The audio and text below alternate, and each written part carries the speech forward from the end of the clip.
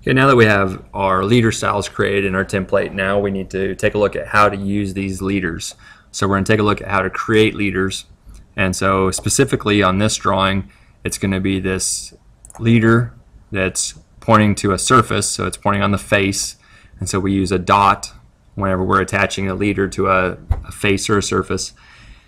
And so it's going to be this thread call out as well as this call out that we're using for chamfer since we don't have a specific dimension command to call out chamfers or to call out threads, then we're just going to use notes. We're going to use leaders to do that. So first thing to do is go ahead and take a couple minutes and draw up this figure. This is actually figure uh, 10-125 out of your textbooks. It's on page 414 if you want to look at it. Otherwise, just go ahead and take a minute and draw it per these dimensions that I have on here.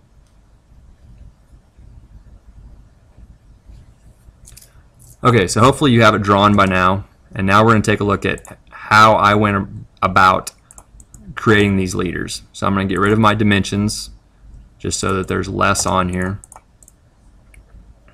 Okay, so the first one there is our chamfer. Okay, so for it, I'm going to come up to the annotation tab and make sure that I have the correct style set current. And so for my multi-leader style, I want to use the SATC associative arrow. So set that to be current and then just click right on leader and then follow your commands. And so you'll notice with leaders, either you can draw the landing first, the arrowhead first, or the content first.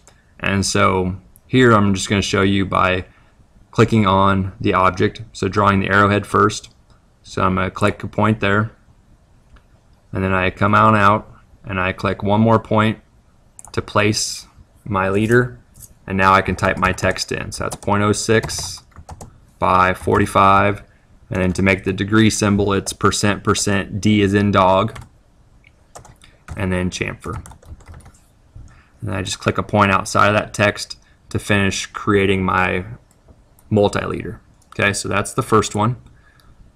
And now for this other one, I need to switch to my other style. So I come back up to annotation and I come down and I want SATC associative surface. Click on leader again.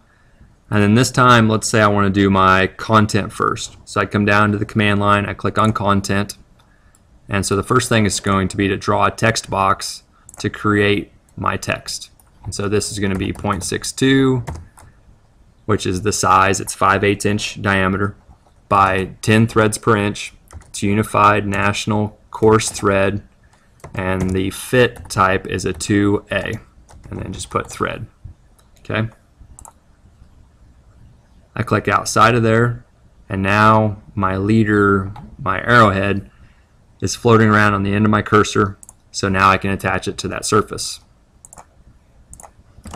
Okay so then the third option with leaders I'm gonna go ahead and switch back to my arrow style.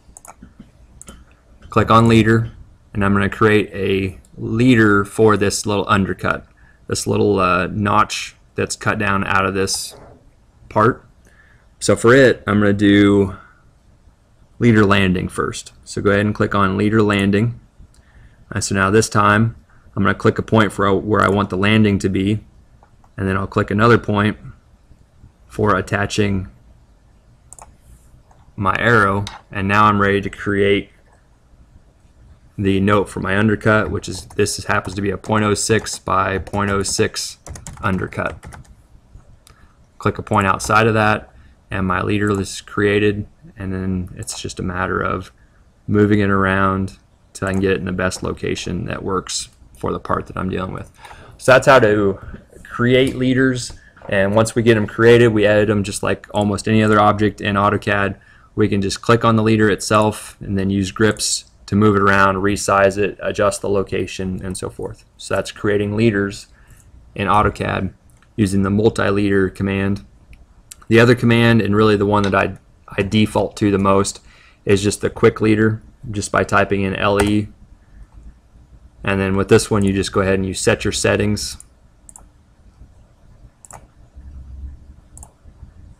So you fill in your settings here, and then it's the same process with this one, you'll pick a point for your arrowhead first, pull it out of there, click one point, and then you'll click another point.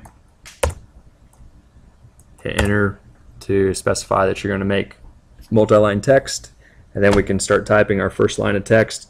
And I'm just going to type that this is 0.50 thick. Hit enter twice, and so you can use either one of those two commands. They work uh, pretty similar.